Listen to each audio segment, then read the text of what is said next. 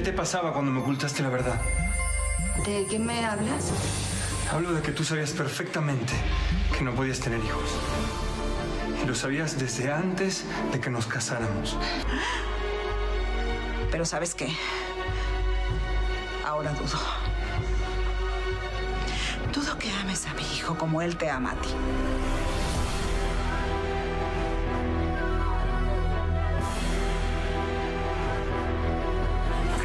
Estaba por irme, pensé que ya no vendrías. Doctor, perdón, me salió un imprevisto. Pero siéntate, por favor. Gracias. No le quito mucho tiempo, doctor. Nuria ya me contó lo que está pasando ahí. Me alegra que compartan esta situación. La verdad fue, fue algo que no esperaba. Las secuelas que dejó ese maldito cáncer. Y ahora ella, bueno, usted sabe, ahora no puede tener hijos. Cristian, Nuria no te explicó. ¿Qué cosa? Que el cáncer no le dejó ninguna secuela. ¿De qué me está hablando, doctor? El cáncer no tuvo nada que ver en esta situación. Nuria nunca ha podido ser madre.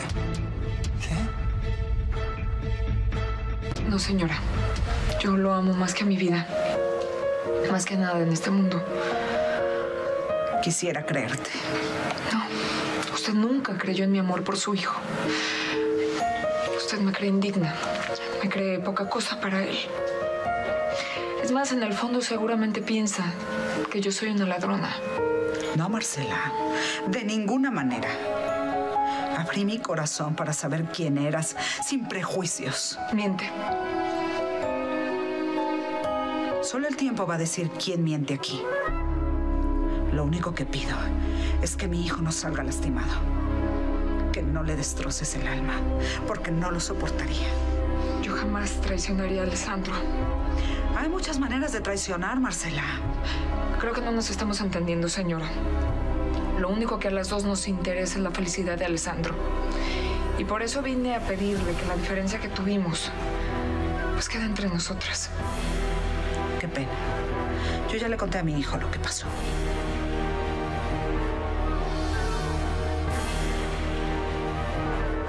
No puede ser, doctor. E- Eso no es posible. Me temo que sí. Lamento que tu esposa no te haya dicho las cosas como son, pero es mi obligación hacerlo. Pero, pero, ¿cómo? Puedes corroborar esta información con el ginecólogo de Nuria, quien por cierto la atendió desde la adolescencia para tratar de resolver el problema sin resultados. ¿Usted me está diciendo que Nuria sabía que no podía tener hijos antes de casarse conmigo? Así es. Lo lamento mucho, Cristian, pero cualquier otra aclaración creo que debes de hacerla con ella. Como médico me limito a cumplir diciéndote la verdad. No, si se le hacía tarde para dejarme en mal con Alessandro, ¿no? Yo solo dije lo que pasó. Que decidiste hacer la boda a tu manera. Y debe de haberle agregado de su cosecha. De verdad no entiendo qué se trae conmigo. Si yo he tratado de darle gusto, tal vez, tal vez ese fue mi error. Querer quedar bien con usted cuando con nada le iba a tener contenta. ¿Es todo lo que me querías decir? Sí. Y le pido por el bien de Alessandro que tratemos de llevarla lo mejor posible. Me queda muy claro lo que piensa de mí. Yo no sé qué pensar de ti, Marcela. Pues estamos en las mismas. Lo único cierto es que las dos amamos a Alessandro. Y por él yo hago lo que sea. Hasta hacer de cuenta que no me ha dicho lo que me ha dicho. Yo haré lo mismo. Perfecto. No le molesto más. Con permiso.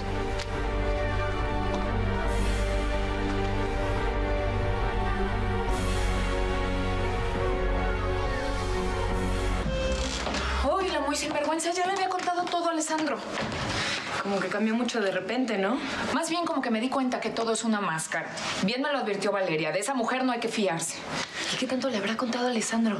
Pues mira, según ella solamente que, que yo hice cambios en la boda. Pero es que no es el qué, sino el cómo, como lo haya dicho, ¿ya sabes? Bueno, pues si se te adelantó, no te queda de otra que tú contarle tu versión a Alessandro. Es que no sé. Mira, si él no me llamó para decirme nada es porque tal vez no lo tomó muy en serio. Y si yo voy y se lo digo, tal vez ahí sí se haga un gran problema. Bueno, pues sí, tal vez tienes razón. Igual y no le dio importancia a las quejas de su mamá. Ay, no, no, no, mejor no digo nada. No quiero empañar esta felicidad. Este sueño que a pesar de todas las dificultades se me está volviendo realidad. Es que no quiero que nada lo dañe. Está tan cerca, tan cerca. No sé qué me enamoró tanto de esta mujer, con cara de niña traviesa y escopeta al hombro. Ay, Marcela.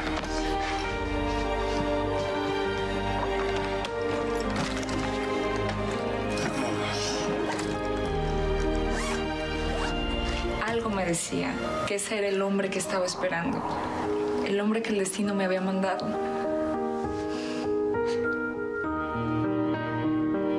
Que algún día vas a seguir mis pasos. Ya, pa. Espérame, espérame. Soy del señor Quiñones Junior. Para hablar en francés marca el 1, para hablar en totonaca marca el 2. A sus órdenes. Don Timoteo, usted siempre tan jocoso. Algo me decía en mi corazón que esta llamada era de la emperatriz de mi alma. ¿Es usted clarividente también? Ah, qué bueno. Porque entonces me imagino que ya habrá adivinado que lo voy a citar en el bar. En el bar. Mm, Sí, sí, me urge que baje. Sus palabras son músicas para mis oídos. Me lanzo como flecha para allá porque pues le tengo una sorpresita. ¿Otra? Platicamos en el bar. Ahí lo espero. Voy volando. Ay, mi Junior. Deseame suerte. Mucha suerte, pa. Pero con enjundia, hombre. Pues parece que me tienes envidia. Pasaba en la montera. No, no cree que le va a tener envidia, pa. Ya sabe que yo espero que usted y ella se la pasen bien. No me veo. No parezco hasta el llanero solitario. Sí, No me esperes despierto. Duérmete porque va a ser una noche. Mm. Sí, pa. Va por ti, matador. ¿Qué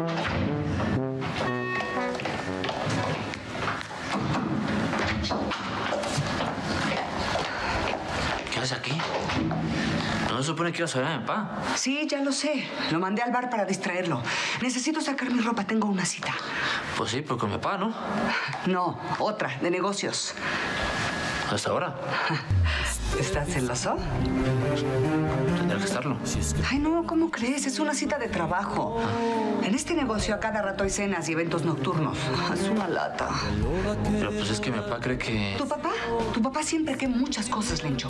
Pero yo nunca le he dado alas. Lo que pasa es que él tiene una imaginación muy grande. Con permiso.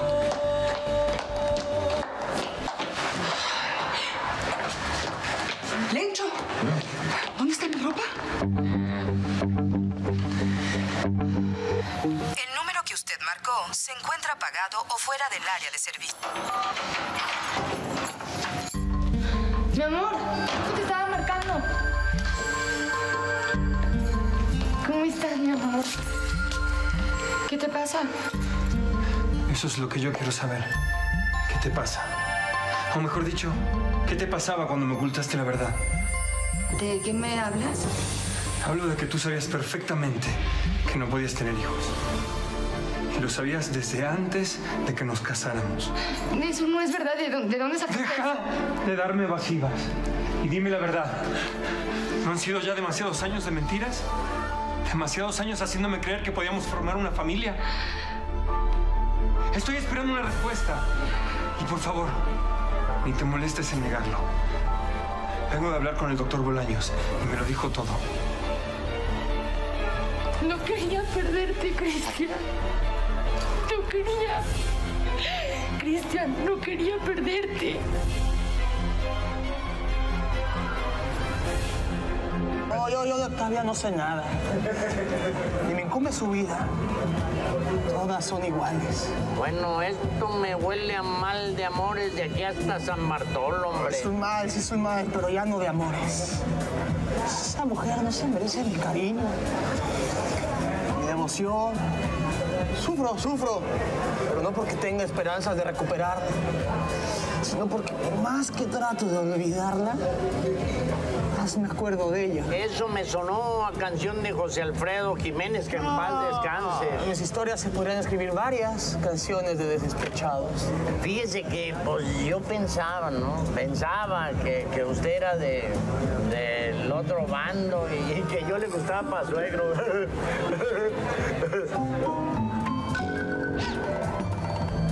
¿Por qué, Nuria?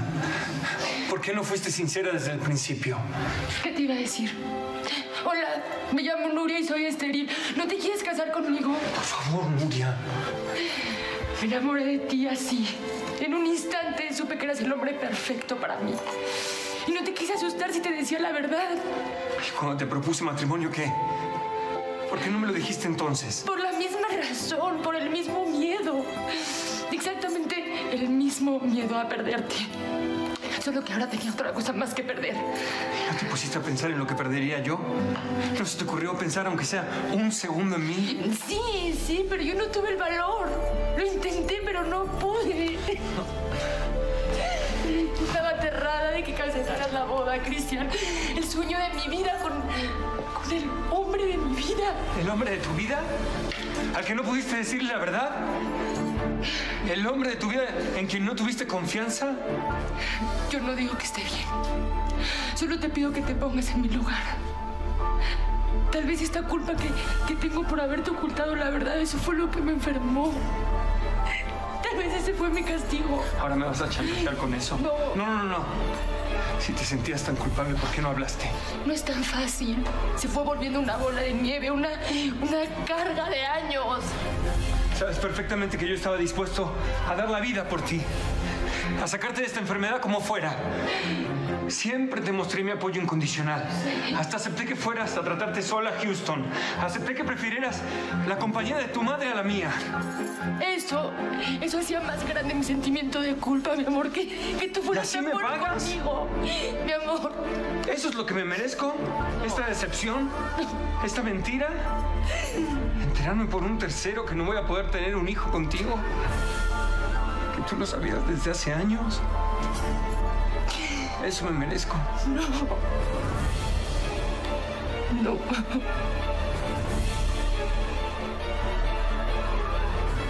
Esta noche, cuando la licenciadesa se presente frente a mí y me diga... eh, la licenciada no va a venir. ¿Cómo? Pues es que la vi salir del hotel y, y pues no va a venir. Pues bienvenida al club.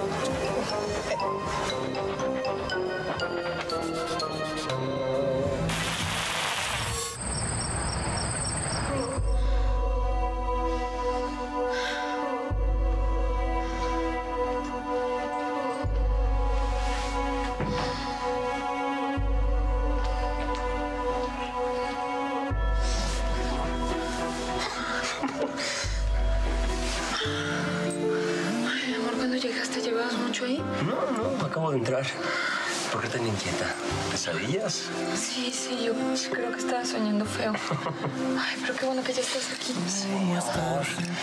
Mi amor, que va a llegar. ¿Alguna novedad? Sí, muchas, pero las platicamos mañana, sí, ya es tarde. Mi amor, ¿qué fue lo que pasó entre, entre mi mamá y tú?